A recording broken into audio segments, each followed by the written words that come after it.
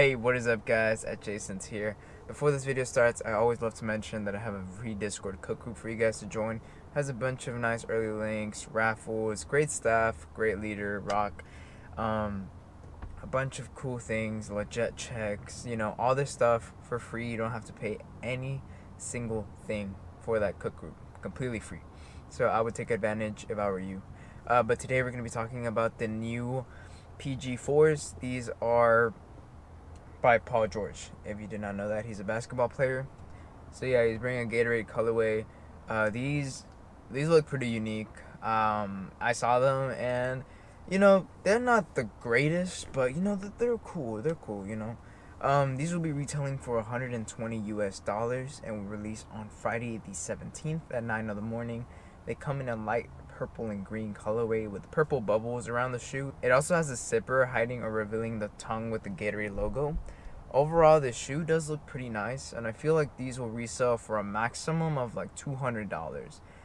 And they probably will. I was checking on StockX last night, and they're around like $200 for the resale or the early pairs, um, which is not that bad, but I don't think resale will be insanely high for these um, PG4s. Um, but they will definitely sell out, don't get me wrong. So be on the lookout. They will be releasing on the Nike SNKRS app. Also, check the foot sites just in case, like the SNS and SVD apps too. Um, you want to check your Foot Lockers, Champs, Finish Line. I also heard news that they're combining like all those three foot apps into like one, and it's gonna be called FLX. So I think it's gonna be more W's for manual users, which is actually really nice, but it's gonna take a hard hit on resellers.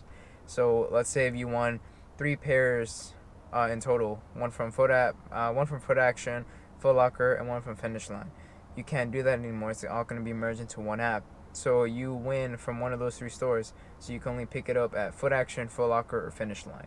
So you only win one instead of three, which is kind of nice because it's gonna disperse more W's around the people.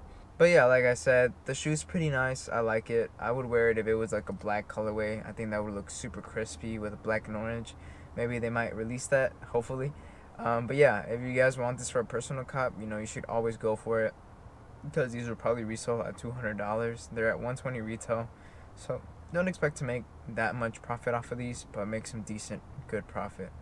Um, but yeah, with that being said, guys, I will see you in the next video. Peace.